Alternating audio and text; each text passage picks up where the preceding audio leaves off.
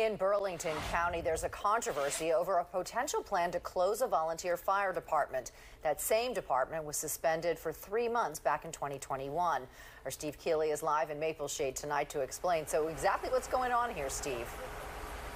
While all this is happening just six months after two little children died in a fire, just a four minute drive from the firehouse here. And that is the big thing. The residents are worried about what's going to happen with the next fire. Shade firefighters got their latest call in the rain tonight as they drove past some of the nearly 300 lawns in town that have these signs supporting the fire department. The community group that put out the signs plans a rally on Main Street here tomorrow morning. And today, Maple Shade's mayor and council released this two page public statement saying they're, quote, aware of the recent efforts of the independent fire company number one to mislead the community about a just passed ordinance November 9th and what the impact will be if adopted. If they close on December 14th, when they plan to pass the ordinance to close the firehouse, there won't be a fire company in Maple Shade. Not so, say township leaders in today's statement.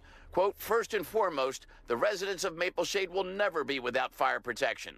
The governing body and administration are actively working to strengthen and improve our relationships with our mutual aid partners to ensure their safety and welfare while operating in Maple Shade Township. An all volunteer fire department. I would think that the township would have embraced uh, the volunteers that they do have here and work with us, but it just seems like. Uh, that they want control over it. The council statement says in time the township will be able to comment further. However, due to pending litigation brought by the independent fire company against the township and certain employees, our comments must be limited. This all comes after a previous three month shutdown of the fire company just two years ago. Cost the taxpayers a lot of money, and nothing changed. We were opened back up and put back in service, and it was like it never happened.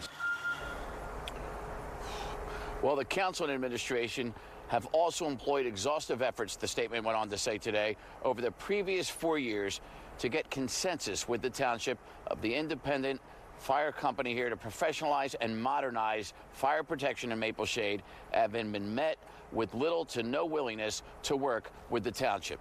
Dawn Jason, that next public hearing on that firehouse ordinance, December 14th, should be a packed house, probably coincidentally testing the limits of capacity of the fire code here in town. Mm. All right, Steve Keeley in Maple Shade. Thank you, Steve.